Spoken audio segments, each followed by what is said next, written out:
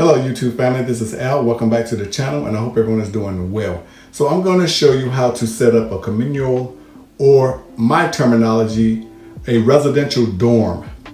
Now that is shared housing. So you need to have a common area, which you can see this is the common area where they can sit and watch TV. And we're gonna walk through the house. So this is your dining area, another dining room area where they can eat. All of this is shared living space. I call it residential dorms. Other people call it communal, but my new definition is residential dorms. So now we have the kitchen, also you have an area where they can eat, and you have the stove, you have your microwave. This is just a area where you have a sink. And you have your bathroom where they share the bathroom. You have laundry. And here you have another area where they can watch TV.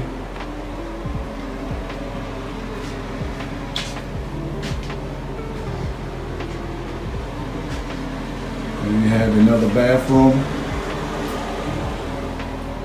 And let me let you see a bedroom. So this is your typical bedroom setup. You're gonna have two beds per room.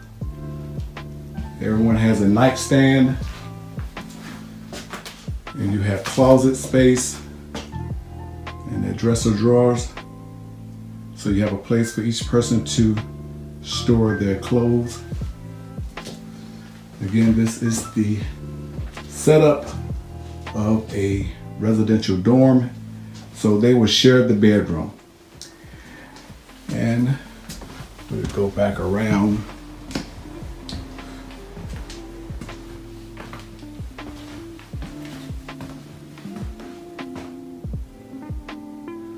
So this is a residential dorm.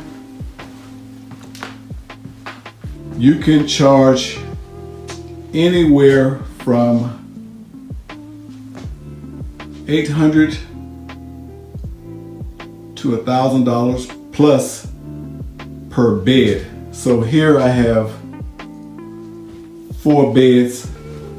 So it's possible to bring anywhere up to 4,000 plus per month just renting and out each bed in a shared space. This is a walkthrough of a residential dorm where they share the living space, the bathroom, the kitchen area, and we have two individuals living per bedroom for cabinet space in your kitchen, you can have individual space for each individual so they can store their items in the kitchen area so they can have designated space in the kitchen to store their food groceries. This is a tour of a residential dorm and I'm gonna give you another tip. I call it forever furniture. Now, if you're gonna have common or shared living space, you need to purchase everlasting furniture. Meaning that it will weather the storms of wear and tear from different renters who will rent from you. And I'm going to share with you where I get my furniture from. It is solid wood. It's called Forever Furniture. And I recommend if you're going to set up a residential dorm that you purchase this kind of furniture. So in the description box of the video, I will have a link to the company that I purchased my furniture from. So again, this has been a video on a residential dorm.